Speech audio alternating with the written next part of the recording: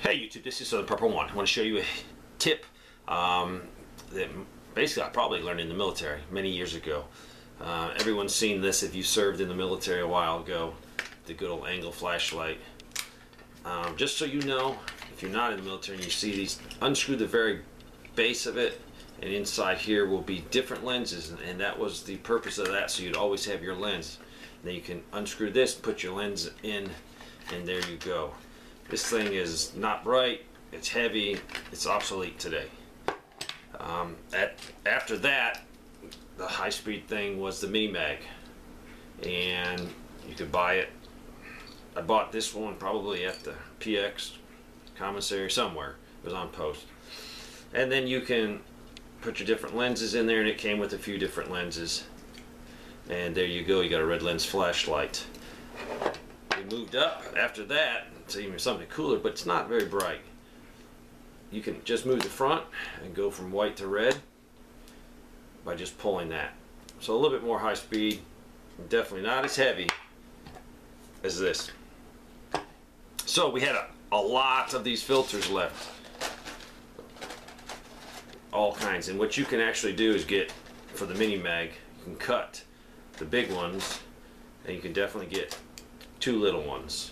So I would never throw those away when guys' flashlights broke. I got their lenses so we can convert them into whatever size we wanted. And you can do that. Uh, this one's a smaller flashlight and all you got to do, if you can see that, is that's inner tube. We were using these for Ranger B or Ranger band so many years ago. Um, and just cut one out, put it in the end, and leave it hold, leave it over a little bit and that would hold it nice and tight and it would never fall out. So you can make one this one was actually I think cut out of that. So you can use anything in your kitchen all kinds of junk. You can even if you're really desperate this is a bread bag Walmart bread bag. You do the same thing. You can wrap around here. You can either use uh, a piece of inner tube or you can just duct tape it. Inner tube is nice because you slide the inner tube down um, and then you put this on, slide it back up, and if you need to, you pull that off and you're good to go. But there's a lot of different filters you can put on there. Um, diffusers are nice. This is diffuse, and that is a perfect size for this flashlight. And every flashlight's different, so you have to go through your house and find things you can use. But this, this diffuser is nice because if you're doing something you need white light and you shine it in people's faces, you're not blinding them, causing any major problems. Um, this is just attached. It, it fits perfect on this one. This came off of a laundry detergent big container where you have the dispenser where you can push the button and then you got the cap on the end.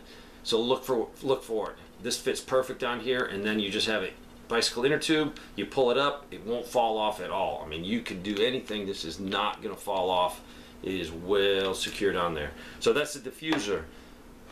Sometimes even camping these are nice you take a pill bottle, that's a normal pill bottle, this diffuses it so you can set it on your camping area uh, and everyone can get light and you're not accidentally blinding people. Just the diffuser, that's a pill bottle. Also, you can work out a SOP with your group if you need to signal. Go back to old school primitive ways of communicating. Get that down first and then work on commo because commo is going to go down. I don't care. I've had commo go down in training environments. I've gone had commo go down in real world emergency events. So commo is going to go down. So figure out some primitive, primitive ways of signaling to your small group. And this could be one of them. Not many people are going to have this out there. And, and you can definitely at night signal and it means different things. Um, so you can communicate, especially on link ups. Very important. If two groups are going to link up at night, most dangerous thing you could do. So there's all kinds of things. Um, that's worth its weight in gold if you got a bunch of new guys in a group and they don't have red lens flashlights because they're not even tracking. You need a red lens flashlight. And why do you need a red lens flashlight? Um, red lets your eyes keep their natural night vision. It takes about 30 minutes if you turn all the lights off for your eyes to get to the best point of adjustment for, for working at night. So you can put that over your flashlights. You can tear it off it's so easy to use. Um, you can also wrap it around the flashlight. A few of these flashlights, I have it permanently wrapped around. If I can find it, I can't find it. But it's permanently wrapped around and then you can take the rubber band and pull it down. So you always have some tape there. But you can do all kinds of things if you want to signal. See, that's a Mountain Dew thing. That was used in the military if we wanted to use green. Uh, it's a Mountain Dew bottle. Someone always have a Mountain Dew bottle out there in the field. Um, that fits over that one perfectly. You use your inner tube and pull it up and it holds it in place. There's no way it's going to fall off. So you could use a different unique color. If you can find a bottle that's very unique, uh, you can cut them for your group and that way you can identify each other at night. Um, orange, that cap will work. Actually, that cap is on something. I don't know what, what it's on, but it's on something I have. Uh, right there.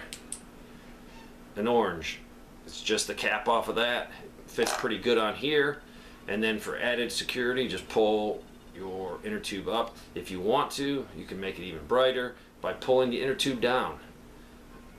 So just ways to signal. Come up with your SOP for your group. If your group's three guys, you need to have an SOP. If your group is 30 guys, you need an SOP.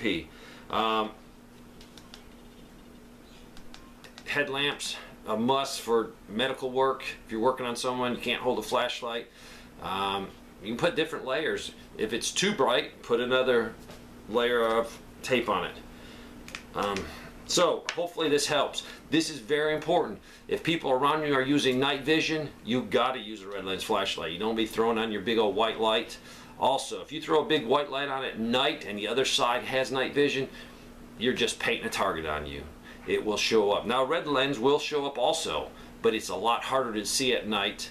Um, it will save your night vision, your natural night vision, um, to make it easier for you figure out what you got. You got all kinds of bottles you can add. You can cut this out and use it. But your challenge now, if you got a small group of guy, find a unique color that will work for you guys for signaling. And then also get every flashlight where you can put a red lens on it. Very easy and very cheap. Thanks for watching.